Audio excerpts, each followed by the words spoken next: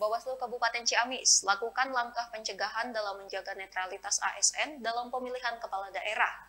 Selain melakukan sosialisasi, pihak Bawaslu juga menyediakan pojok pengawasan dan posko aduan masyarakat apabila ada dugaan pelanggaran netralitas dari ASN.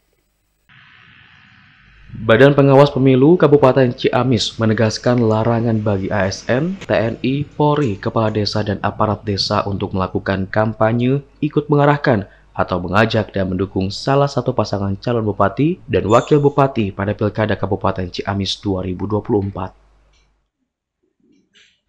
Koordinator Divisi Pencegahan, Partisipasi Masyarakat dan Hubungan Masyarakat Bawaslu Kabupaten Ciamis, Wulan Sarifah, saat ditemui di kantor Bawaslu Kabupaten Ciamis menerangkan, pihak Bawaslu telah melakukan beberapa langkah-langkah pencegahan dalam menjaga netralitas pada pemilihan kepala daerah di Kabupaten Ciamis.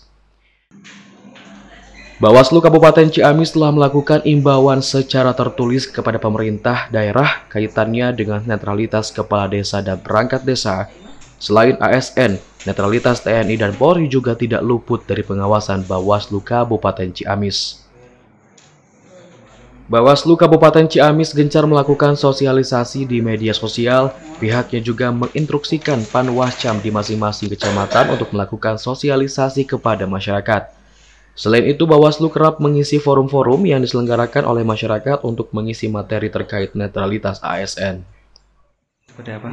Iya, eh, Bawaslu Ciamis telah melakukan beberapa eh, langkah-langkah pencegahan dalam menjaga netralitas pemilihan kepala daerah di Kabupaten Ciamis.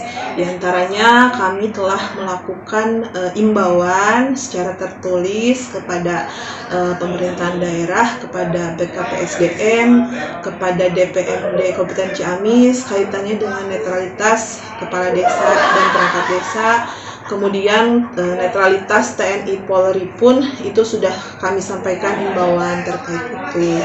Kemudian selain melakukan e, menyampaikan himbauan, kami pun melakukan sosialisasi secara masif baik di media sosial Bawaslu dan seluruh e, apa lembaga ad hoc di bawah yaitu Panwascam untuk melakukan sosialisasi.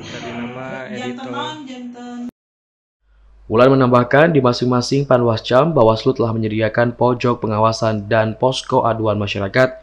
Masyarakat bisa melaporkan apabila ada dugaan pelanggaran terkait netralitas ASN. Dari Kabupaten Ciamis, Nur Rohman Radar TV melaporkan.